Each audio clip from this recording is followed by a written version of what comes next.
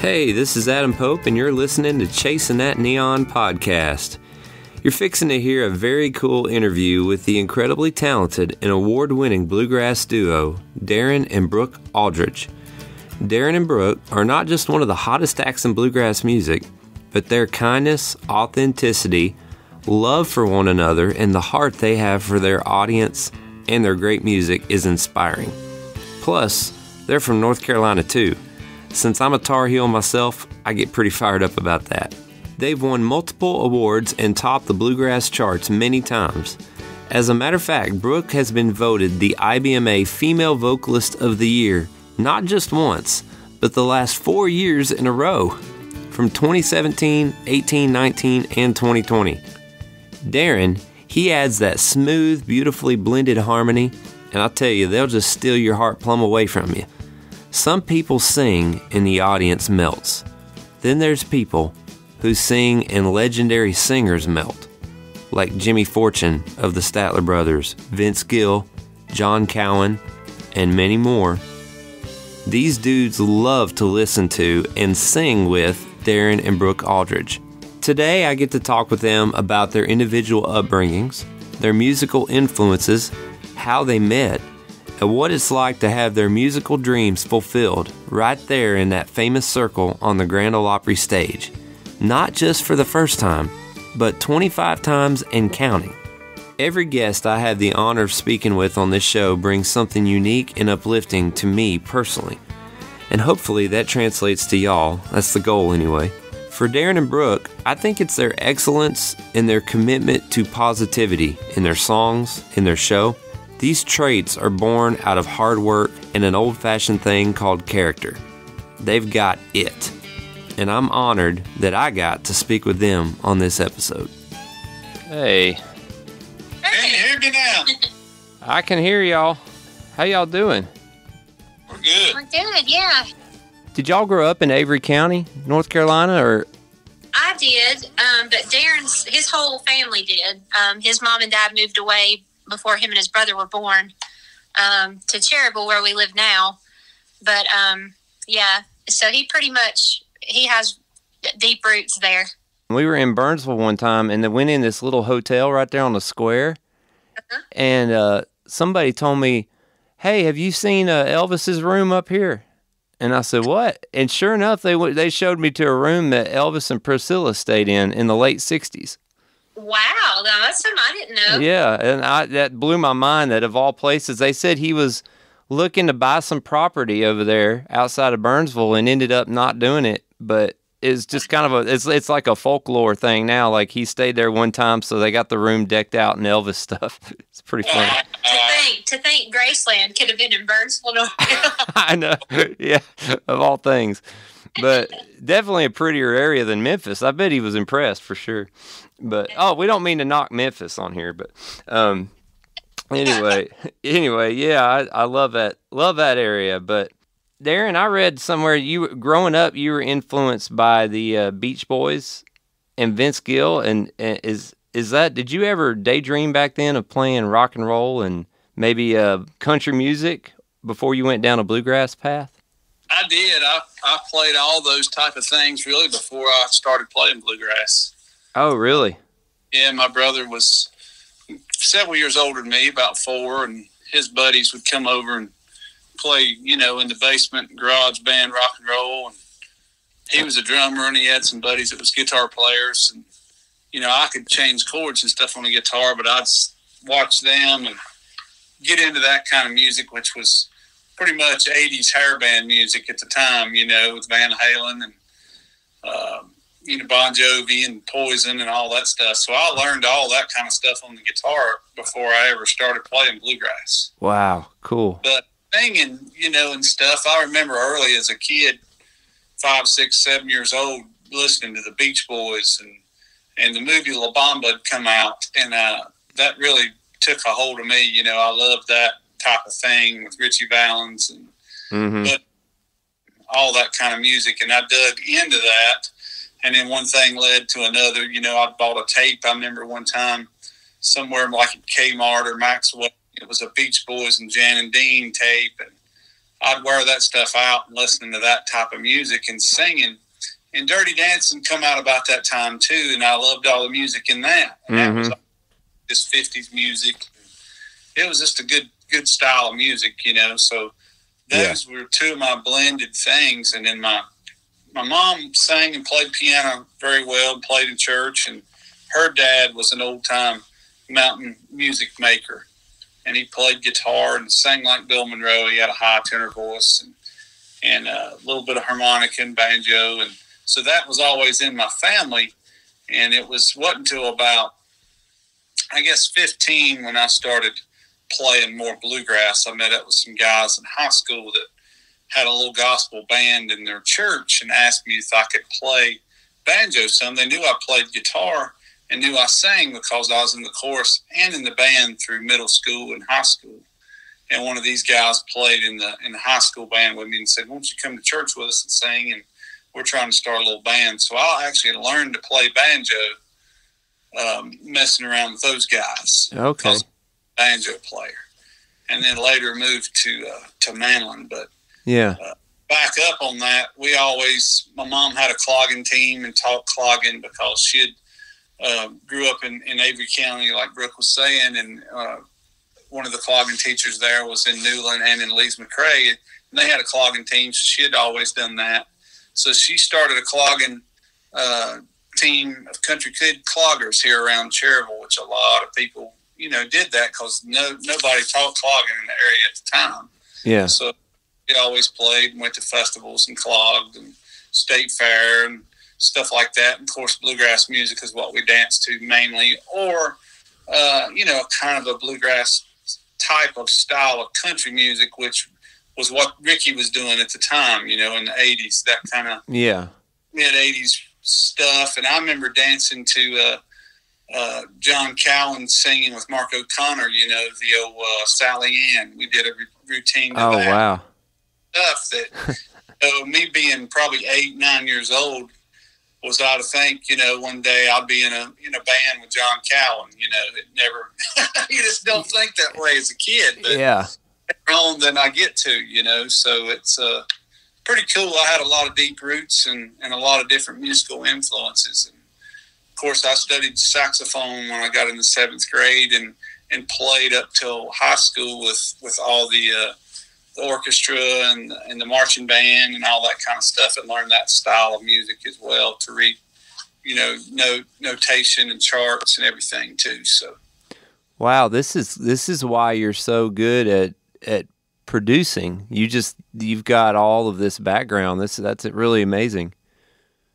Well, I love love music, always have, and uh, and what makes it up, you know, and yeah, it's a curve, as you know, just like today, how much changes evolve with it, with the recording, with uh, you know instrumentations and sounds and miking certain things. All those type of things have I've been really intrigued with wanting to find out about, and that goes way back to the Beach Boys. Man, I, I remember seeing one of those documentaries early on. I actually rented it, I think, from a video store of them uh, being at Brian's house and recording and all that. And I was like, God, that's a whole other side I didn't know anything about, you know? Yeah. Wow.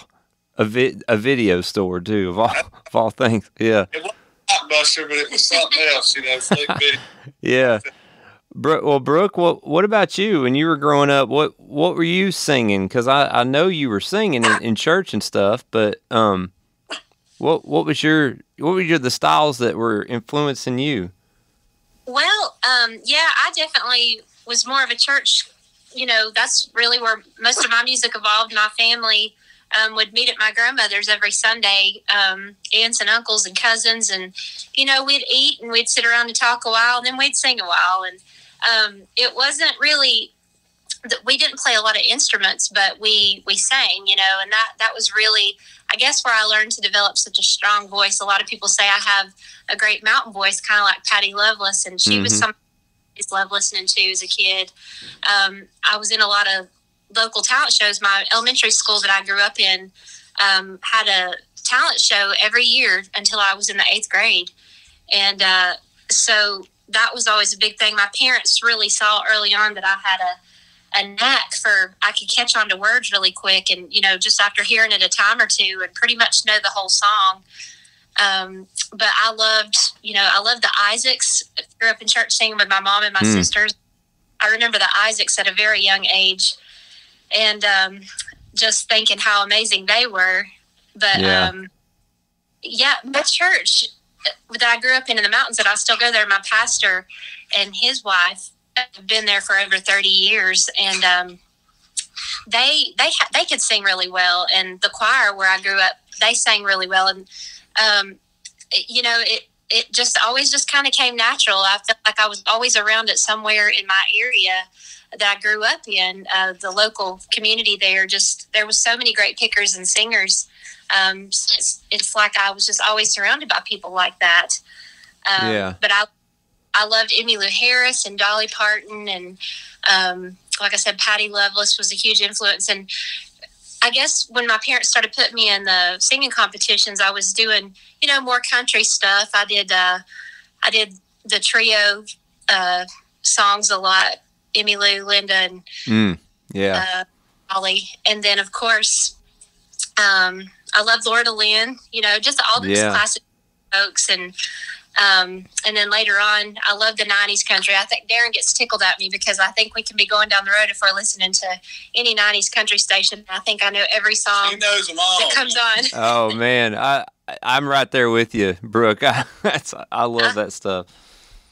Yeah, '90s country. I was actually thinking. So if you were, I don't know what years you were doing these competitions, but I, did you ever do the? Uh, I I used to hear at these competitions people would take on LeAnn Rimes that blue song.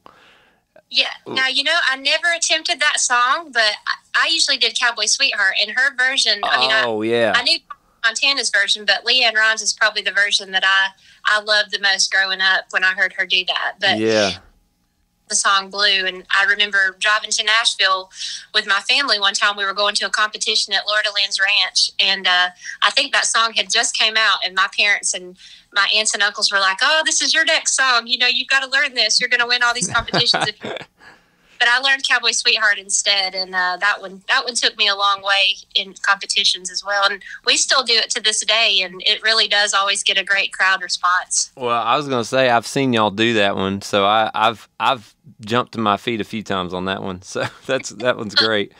Thank you. Yeah, that well, that's awesome. And you won a bunch of those. Didn't you win like twenty or thirty of those things? That or Yeah, over over thirty probably as a kid, you know, and, and I'm grateful to my parents for for you know encouraging me to be in those because there were times when I didn't want to do it, but you know they would just keep encouraging me, and um, I, I really I learned a lot of songs that way and a lot of different musical styles and how to play you know a, with a band kind of behind me too because sometimes we use like you know the karaoke stuff and then sometimes it was just with the band that they had at the at the venues where I would go be in these competitions but um, you know I won I won college scholarships and some savings bonds and things like that that really helped me get you know my college degree before I ever really set out to be uh, a musical artist, which I always wanted to do, but my parents encouraged me to to finish school first too, just in case, you know. So yeah, yeah. Well, it seems like it worked out the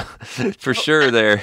So Thank and, and where, if you don't mind me asking, where'd you go to school? Um, I grew up in Avery County, like we were talking about earlier, and there was one high school there. Um, it was called Avery High School, Yeah, and then I went to Brevard College for a year, and I played volleyball. I was also really athletic, so I, I played just about every sport through high school that I think I could. If it was that season, that's what I was usually playing. yeah. Um, and then I went on to Appalachian State to to finish my degree there in Boone. So. Wow, cool. That's awesome. Yeah. Now, how did y'all cross paths, you and Darin? Well, being from Avery County, um, both the, well, I say me more so than Darin, but he had deep musical, you know, a, a deep heritage there and roots. My cousin went to high school with Brooke. She was a few years younger than us. Okay. And probably played maybe volleyball the one year or basketball one. Mm-hmm. And my both my all three of my uncles lived around Newland, so anything Brooke was doing in the community that at that time, you know, they would. Uh, my aunt would tell me you know, about this young lady and how pretty she was and how good she could sing, and I should meet. And my great aunt went to church with her Uh-huh. and told the same thing. And actually, the the couple that was her pastor and his wife, they're actually like my third cousins. So- Okay.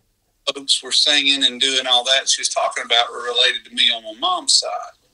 So my great aunt would always tell me and my mom about about Brooke as well, and then they would do the same to Brooks. Like we know this this guy, he plays with a bluegrass band, you know, that's legendary called the Country Gentlemen Yeah. and you know he's from Avery County, or his mom and dad is, and y'all need to meet. So we emailed, I think, for the first time, but it was a couple years later before we actually met hmm each other.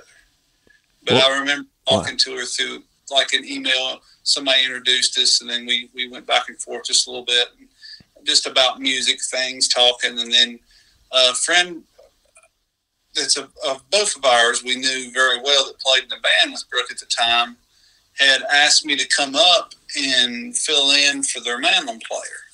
He couldn't make it to one of the church gigs that they had. I don't know if I'd come do that. So I was thinking, yeah, I can go play and I can also meet Brooks. So this is a you know, win-win for me.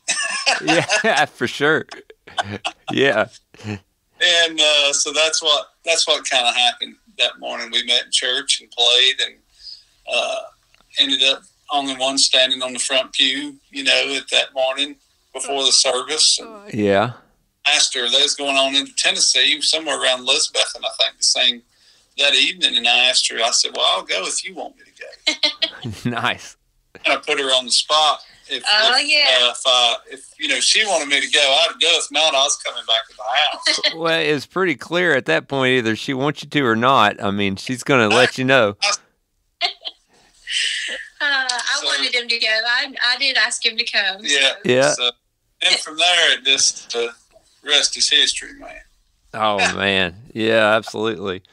Well, that sounds like that that that's one of the that's probably the most productive gig you ever played there, Darin. I'd have to say.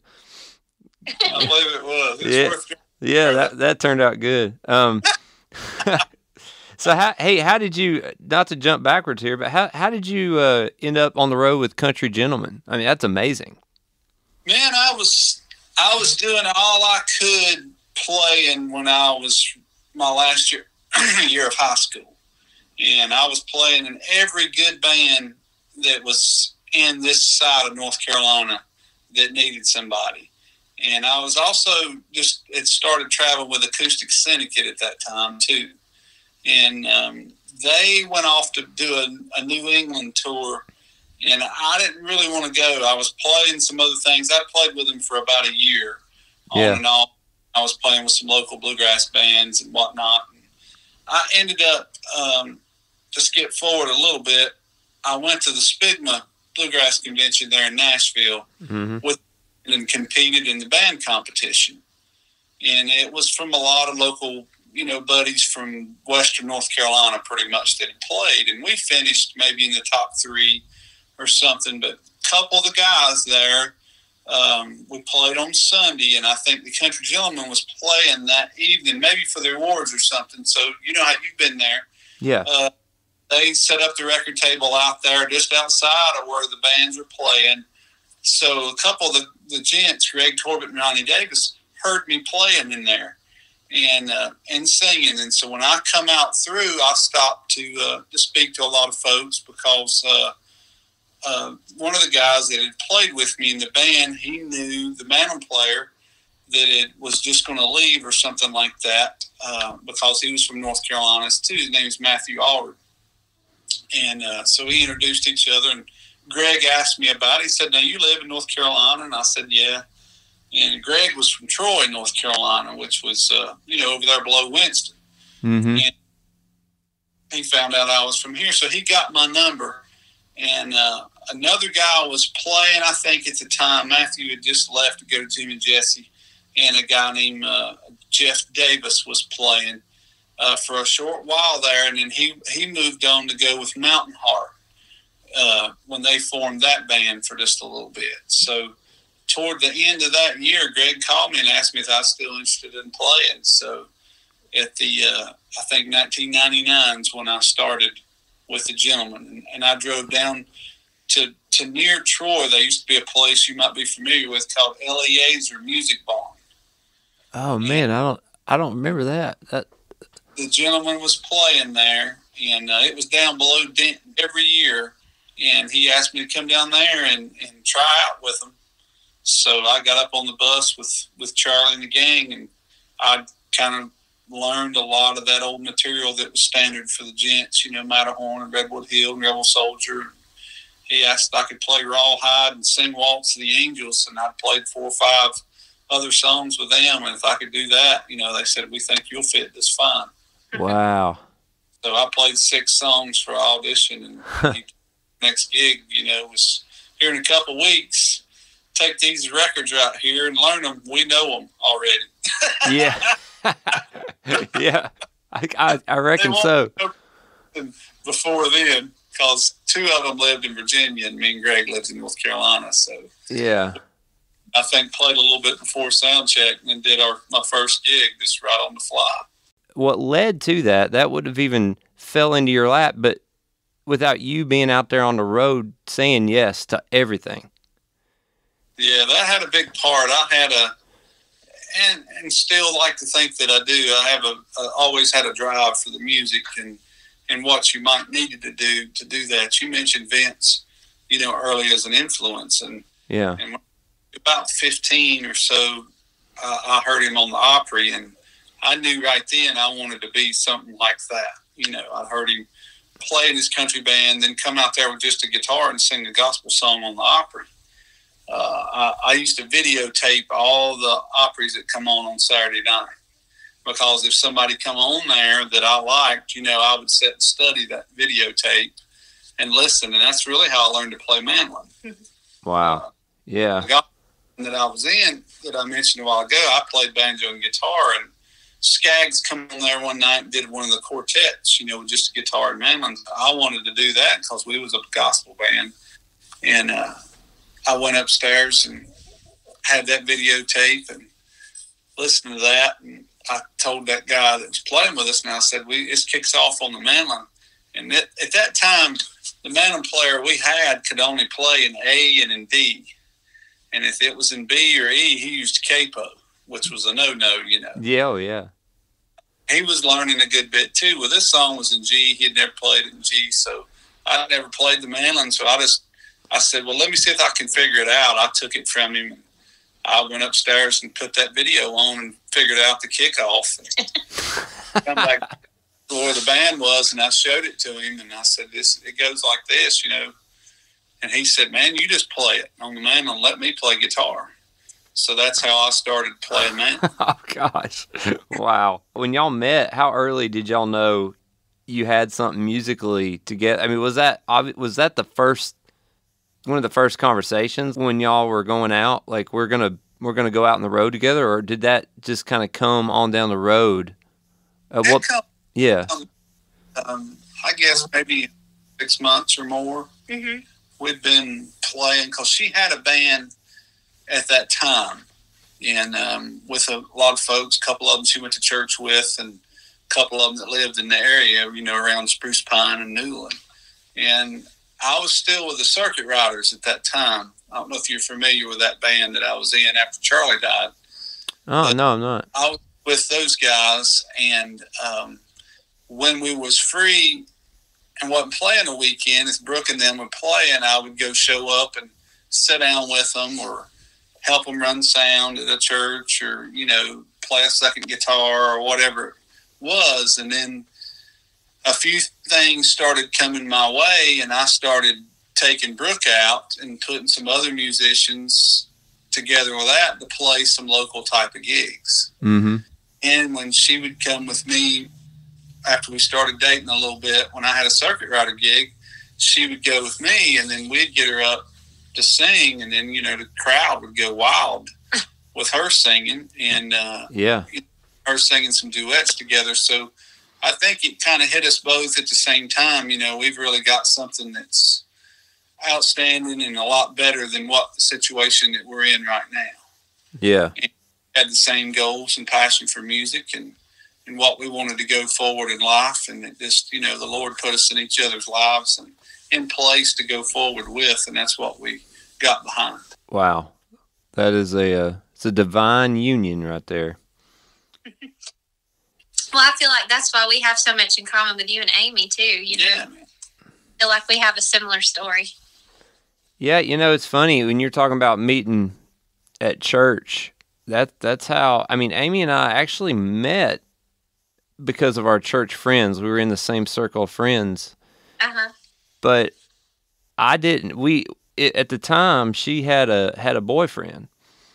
And um you know, I we sort of, you know, just were acquaintances.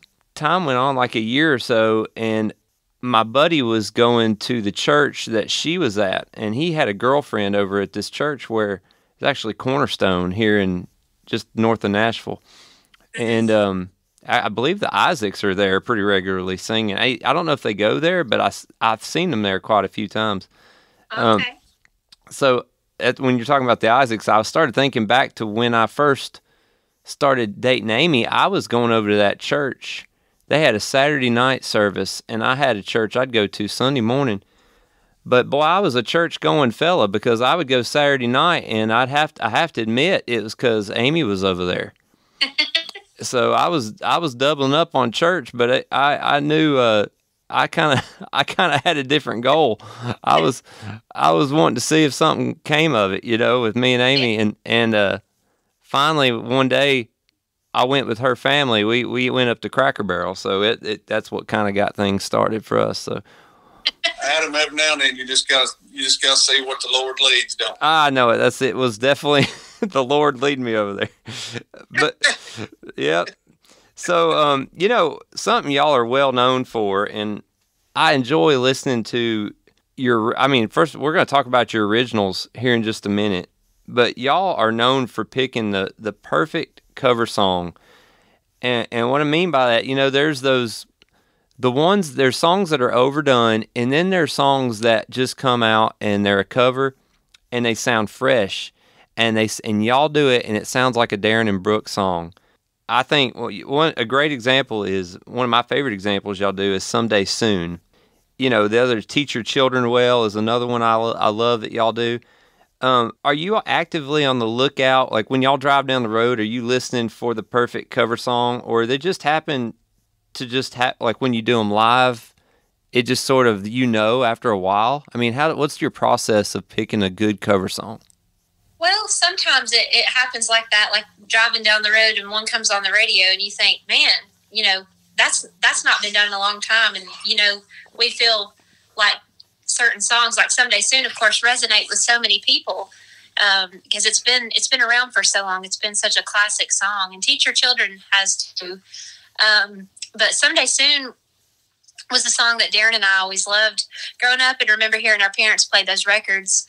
Um, but we hadn't really ever sung it out live, and we would just sing it sitting around here in the living room. Yeah. But we were Cowan one weekend down in Sarasota, Florida, and the Nitty Gritty Dirt Band had come by to see their buddy John and meet us, which was a huge honor. Um, wow. And John was going to get him up to play on a couple songs. and uh, we were actually in the middle of sound check when they came in, and so they stopped and listened while we were doing sound check. And um, John John Cowan said, "Well, are you guys going to do that song tonight?" You know, and Darin and I both were kind of like, "Well, not really, probably." You know, we were just kind of warming up for for fun. Um, and then all the nitty gritty guys said, "Well, you guys have to do that song tonight. You know, we want to come up and play on that one with you guys." And so that's kind of how that song evolved. John kind of helped uh, with the arrangement on the one part that I hold out the long note there uh, on the chorus when I come back in. But yeah. Um, yeah, I mean that song has has definitely been a, a great song. It's one of those songs that we go somewhere now and we we can't get out of the show without doing it. You know. Oh, for sure.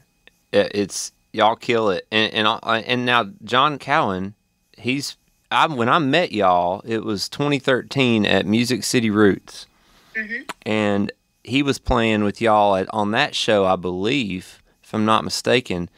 I thought he, I think he was there, and uh, y'all toured with him quite a bit, haven't you?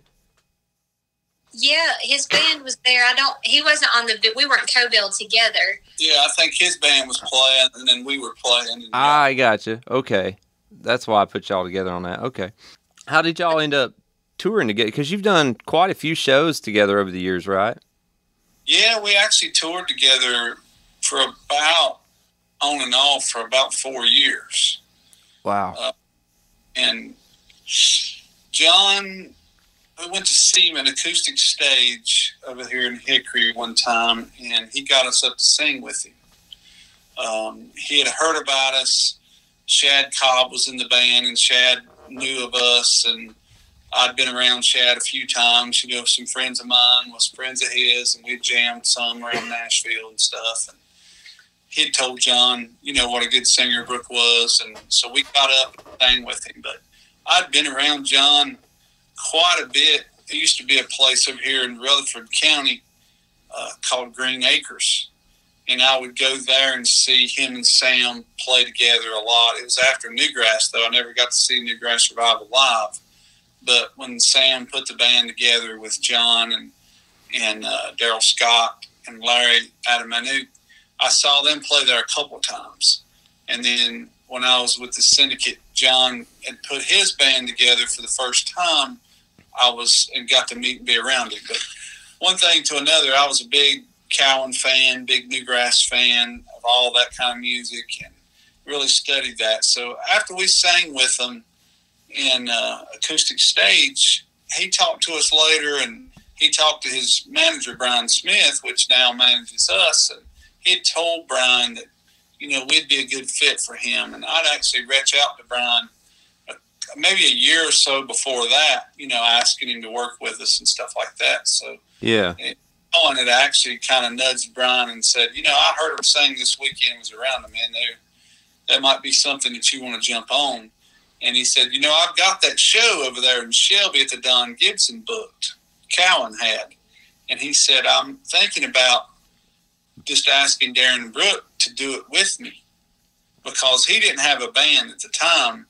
Um, when he went back with the Doobie Brothers full time, he kind of lost the Cowan band with Jeff Autry and Shad and those guys that had played with him all the time. They had to go get other jobs, so he was kind of in between. And he knew he was from this area, and you know it was a good draw for him and us both. And it was a, a big theater over here called the Don Gibson Theater. And yeah, come over and we practiced the night before, and it, everything really clicked. You know, he'd learned our material, and we'd learned his material and Newgrass stuff. But the singing is what really grabbed us all three because it was just powerful. You know. Oh yeah. Um, from then on, it's like, well, we need to do this more and more, and then our, you know, manager started working on it and started co-billing these shows together, and it, you know, four years later, we recorded some music together also, and it was just a great thing, you know. And it's a dream come true for me because I just loved Newgrass forever mm-hmm. since I'd started playing that kind of style of music. You know, I was always a little, I don't know, if it's because of the earlier rock influences that I'd had, you know, and stuff, but that really spoke to me. So, yeah, it's thing, man. And John's a, a great musician, uh, an excellent bass player and he's such a humble guy to be as you know talented and just one of the best singers on the planet that you can be around. Well, y'all uh, y'all blend so well, so I, I love it when y'all are playing together, no doubt. Um, who played steel guitar on "Teach Your Children Well"? For that y'all? was Tommy White from uh, the Opry staff band. Okay, yeah. Whites and played on a bunch of recordings in the Pedal Steel Hall of Fame and when we've been doing the Opry a lot, we Tommy always plays with us most of the time, and we just asked him to come over there to the session that day. He'd be perfect because I know when the, it was cut by Crosby, Stills, and Nash, uh, Jerry, you know, played uh, pedal steel on that from the Grateful Dead. Oh yeah, yeah. Uh, wow, I didn't know that, Jerry Jerry Garcia yeah, Garcia played the pedal steel kickoff and break in that. So I'd first heard it actually from Charlie and them doing it, the Country Gentlemen, who recorded it in the late 60s as well. And uh, so that's another tie that I wanted to record it on this record. Plus, it was like you say, it hadn't been done in so long in a type of bluegrass and country way. I thought it would be a good fit for us, and um, so we had to record it with steel. So we got Tommy to come in and do it. I love how connected y'all are with roots, and yet it you're not trying to repeat the old. I mean, you're you're doing your thing, but y'all really are so aware of the who's played on what, who did what, who wrote what. You know, y'all have that that real respect and and and uh, you value those things, and it really shows in your in your craft. It's it's impressive. Well, thank you so much, man. We just like yourself, just love that kind of music and and all music really, and and why it's become what it is, you know. Yeah, absolutely. And you've got a lot of great original songs. I mean, I I've always loved. I mean, every time y'all do "Someone's Everything," that song. I mean, that's Amy and my. That's our favorite that y'all do. Um, could could you tell the story on that one? Yeah, absolutely. Um, well, this song was inspired by a, a, a teacher that I had in high school, and she was just somebody that I, I knew growing up as a kid too. Um, my younger siblings or my older siblings had her uh, when they were coming up in school, but Gwen Clark was her name, and she's she's just always been such a huge influence in our community, and um, you know she always had such great words of advice and wisdom, and I was scrolling through Facebook one day as we were driving down the road, and she was she had put up a post for her son who was fixing to graduate college, and he was going to be a school teacher himself. And uh, I worked in the school system for ten years as a teacher as well, so I guess I kind of related to it in what she was telling him. Um, but she just told him, you know, as he set out to to start his first day of teaching, to remember that no matter what kind of day he was having or the kids were having, that they were someone's everything and that just kind of stuck with me and i thought i've got to write that you know at some point. So i mentioned it to Darin and um, we kind of sat down and um, i had pretty much already came up with the words and he helped me with the melody. And that's kind of that's kind of how that came to be. I got to sing it for gwen just before she retired um, at the high school and she still keeps in touch to this day and uh, still continues to inspire me with her words of wisdom. So yeah. who, never know when I might come up with another song and get to dedicate that to Gwen again because she's just been such a huge impact in my life and and I'm grateful for that. You know, I, I grew up in a, in a small town in a community where everybody was always so supportive of me and my dreams and what I wanted to do and just encouraged me along the way. And I think they're a big part of why I get to do what I do. Absolutely. Well, I mean, that's that song. It's um, it's got so much heart in it, and I you know, well, I've wiped a tear out of my eye time or two when y'all are playing that one, so it's a good one. Oh, thank you. I, I hear I hear the puppy dog now and then. What what, what you got over there? What what's the dog's name and what, what kind of? His name's Otis, and he's a Yorkshire Terrier. He's about 13 years old now. Oh uh, man. Darin and I got him. Uh, I got him. I guess it was close to Mother's Day, the same year that Darin and I got married in 2008, and uh, and he's been our little companion um, all these years. He's starting to have some some uh, arthritis and hip hip issues, but he's ain't we all? He's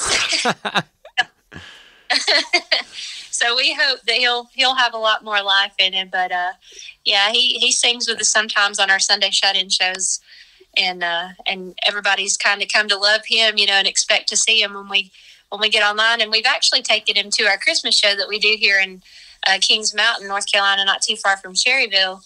Every year, um, yeah. he gets does one song with us, and usually always steals the show. You know how that is with with puppies and kids. So oh, I know it for sure. Well, y'all Sunday shut in has has become a big deal. I mean, y'all started that la- was that last March? Uh-huh. Yeah. And and I mean, y'all you can't you haven't been able to do every Sunday as far as I know, right? But you've been able to keep it up quite a bit. Yeah, we're we've done them at least twice a month. It, we might have been one time a month here, like this year. Yeah. But most of the time we've done it for, for a long time during last year. We did it about every Sunday when when everybody was really, you know, shut in at home, stuck at home. That was probably up until about August or July. Yeah. I did them about every week there for a while. And, it was just a great way to interact with with our fan base and family and friends and other people, and and it reached us a lot of uh, new fans also.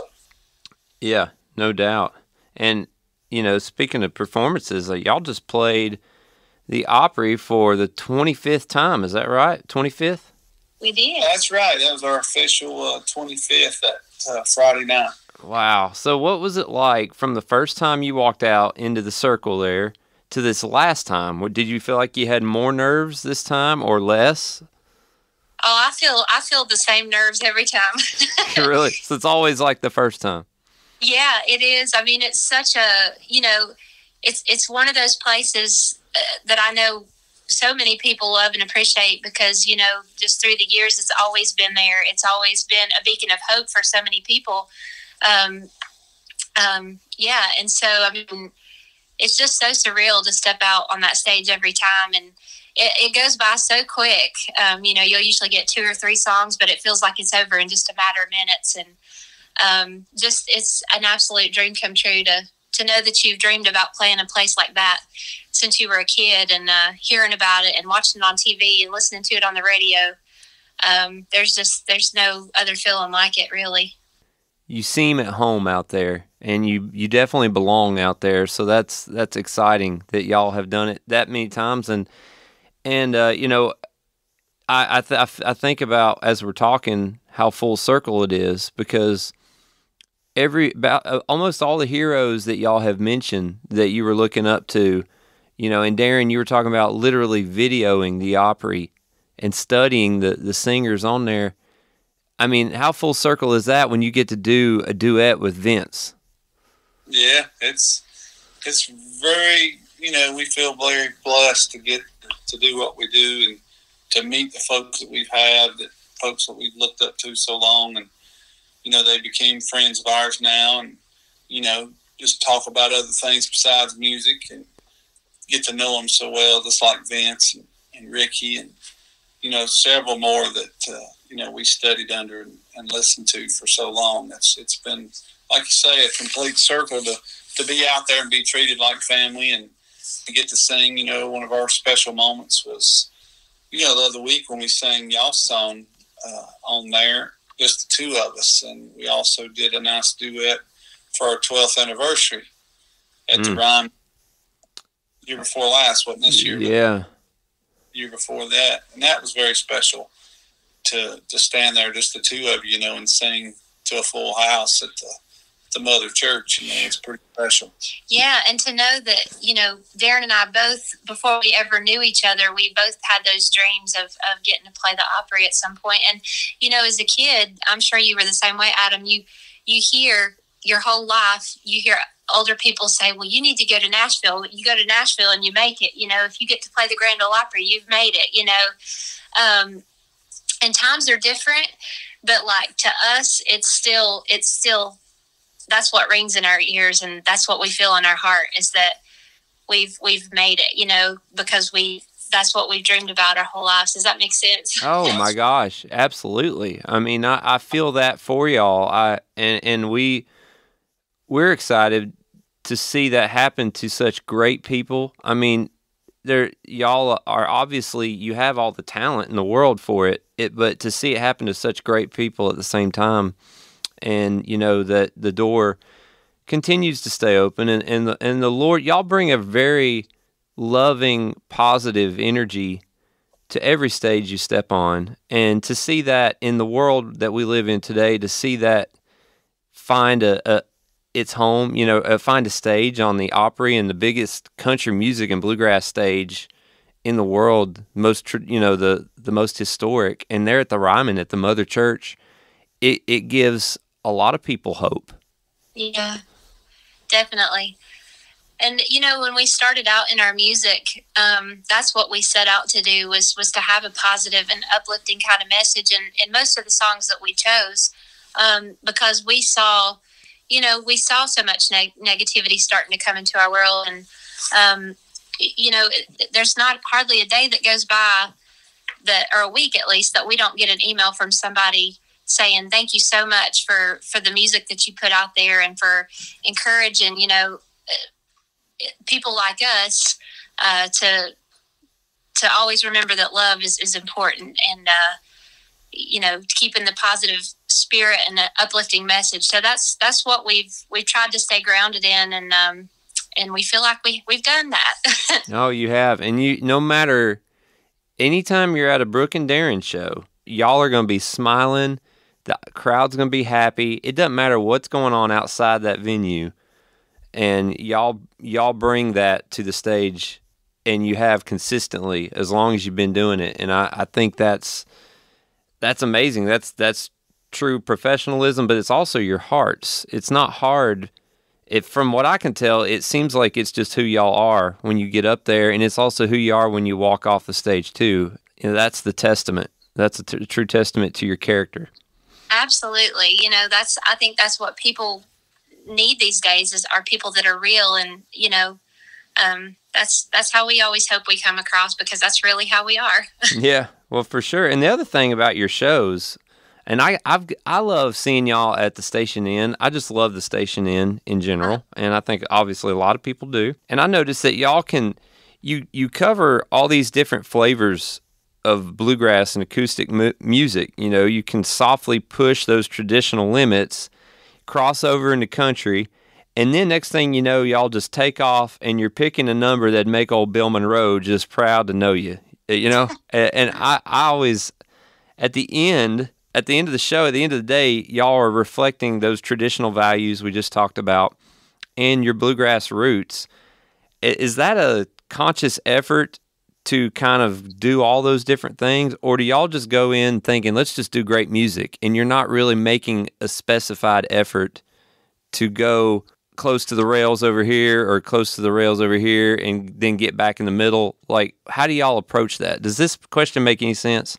Yeah. It does, and it's just basically we look at it as just making great, great music, you know, and it's music that's a part of us and what we love and what we want our audience to hear and feel, just like what you're saying. But uh, we hope a lot of people do. yeah, for sure. Well, well, what's next? I mean, you've got you've got a new single out that's doing really well, um, "Blue Baby" now, and and what what about um, you know uh, when's your new album coming out? The new album will be out uh, first August. August first. all right. Another uh, single out sometime in this summer, maybe in June.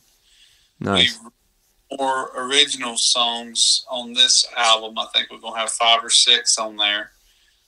Um, because the pandemic was at home more, you know, did more things here. We had more time on our hands, so we wrote a lot more tunes and co-wrote, you know, a bunch of songs. So we was able to pick, and a theme wise of what fit this record, five or six, I guess, what did Brooke mm-hmm. put on here. Yeah. Yeah. So was real tickled about that. We've put two or three on some in the past, but this will be the most that we've ever put of original music for Darin and Brooke. Well, I'm glad to hear that. We've got good. Uh, several more gigs starting to fill in now that restrictions are a little better, and some festivals are starting to come back, and you know, live shows are starting to come back instead of just everybody using a videotape or a phone to look through. Yeah. So thankful for that, and uh, several more things coming. We've got two or three a month right now, and I think we're supposed to come back to the Opry, you know, later on this spring, and. Uh, just looking for better days ahead. Well, they're coming. They're coming for sure. But, well, we need to down and right with you sometime, Adam.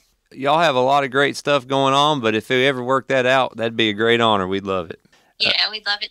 Well, thank y'all for doing this with me. I sure appreciate it. Thank you. It's been fun. It's uh, felt like a great conversation with an old friend.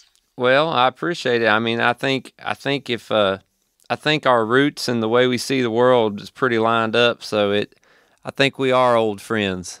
I agree.